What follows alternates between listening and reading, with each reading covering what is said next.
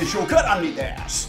今日2020年10月12日月曜日のオースティンテキサスはますます秋が深まっております。今日は週末の出来事も解説したいと思いますので早速今日アメリカで何が起こった？行ってみよう。今日解説する内容は以下の通りです。ニューヨーク・タイムズトランプの利益政治を暴露。副大統領候補討論。お互い質問を避ける姿勢が目立つ。連邦議会上院司法委員会最高裁判事公聴会開始。トランプコロナ免疫を得たと豪語しフロリダで集会開催。先週のトランプ納税記録暴露に続きニューヨーク・タイムズは日曜日にトランプが大統領就任後も手放したといったビジネスに深く関与しており個人的にも利益を取得し続けていると暴露しました。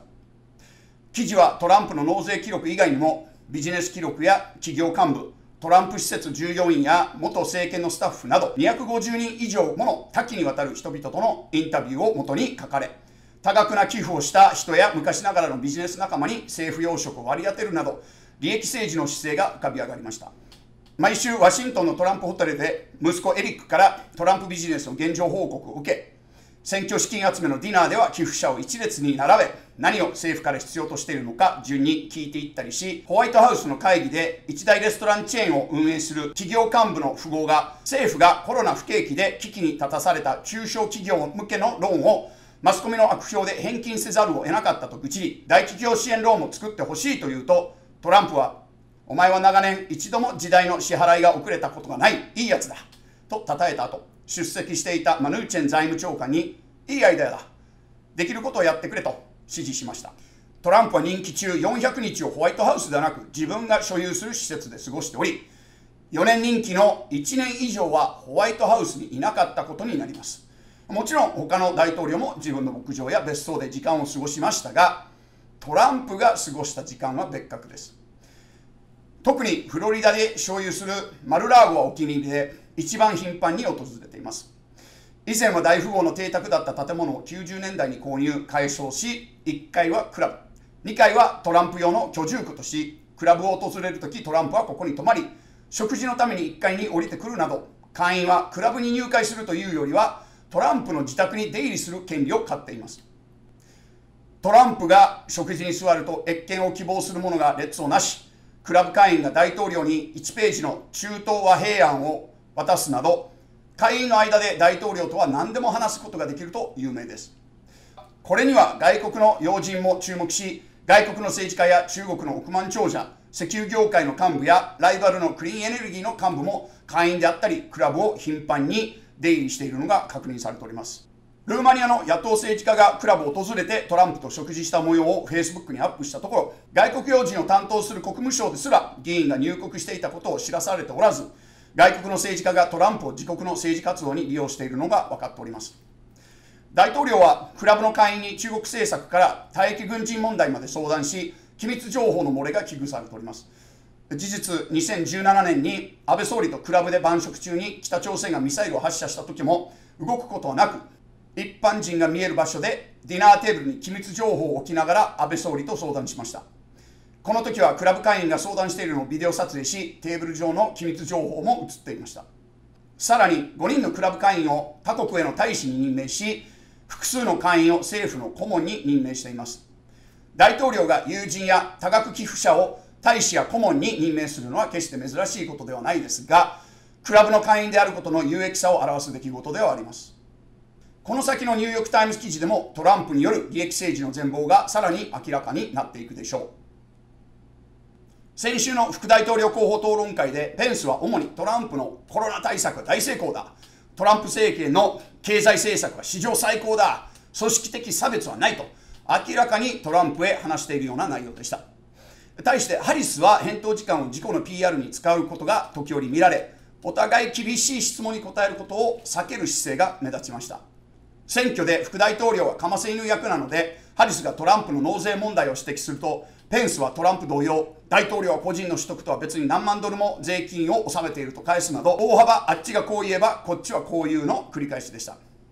目立ったことといえばペンスの目が感染でピンク色だったことペンスの頭にハエが止まったこととペンスがトランプジュニアごとく時間を大幅にオーバーして話し続けるまたはハリスが喋っている時に割り込んでくることを繰り返すなどが見られました。ハリスはほとんど割り込まずルールを守っていたに対しペンスのデタラメと子供のような行動からしたらそらハリスも笑うのは仕方ないです。進行役もそっちの陣営が同意したルールです。守ってくださいと注意するに至ってました。大統領討論と違ったのはハリスがペンスの割り込みを黙って許さなかったことです。ハリスが話している時にペンスが割り込もうものならハリスはきっぱりと副大統領私が話していますと注意し副大統領を黙らせてから話を進めました。男に引きを取らない強さをはっきりと見せる行動でしたね。副大統領討論はこの1回だけで2回目の大統領討論はトランプがコロナに感染したことで開催側がネットでの討論を提案するとトランプが反発してキャンセルしたために行われないこととなっておりトランプの負け具合と焦りを勘案すると22日の第3回討論も危ういでしょう。そして今日連邦議会上院の司法委員会最高裁判事公聴会が開始されました。共和党は主に家庭の合憲性を訴え民主党は選挙を見据えて健康保険の重要性を国民に訴える形となりました。公聴会は14日まで続きその後別途検討委員会が編成され23日以降に上院本体に回されます。公聴会では多くの民主党員がネットで参加するなどコロナ対策をとっておりましたが公聴会とは異なり実際の投票では議員本人が投票に訪れないといけないためこれ以上共和党員がコロナ感染で隔離されると共和党は非常に厳しい立場に置かれることとなります。皮肉にも判事を指名する発表会そのものがコロナ大型感染を引き起こしたとみられ、マスクや対人距離を取らなかった発表会に出席した多数の人がコロナに感染し、中には共和党議員が2人もいます。感染によってこの2人は隔離され、議会には行けません。選挙日まで残すところあと22日。現在出席できる共和党員は承認に必要ギリギリの50人。この先あと2人隔離されるようなことになれば、共和党独自で過半数を得ることができず、選挙前の承認が不可能となります。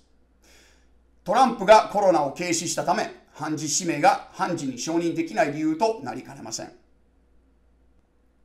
そしてコロナで入院後たった4日でホワイトハウスに戻ったトランプ大統領は、ホワイトハウス内でコロナ大型感染を引き起こしたにもかかわらず、自分は完全に回復しており、コロナへの免疫を得たとすら豪語しております。まあ、医療関係者は一斉にそれはないと言ってますが、トランプはそれでも平然と言い続け、まだ感染的であるかどうかも不明のまま、今日、フロリダで集会を行いました。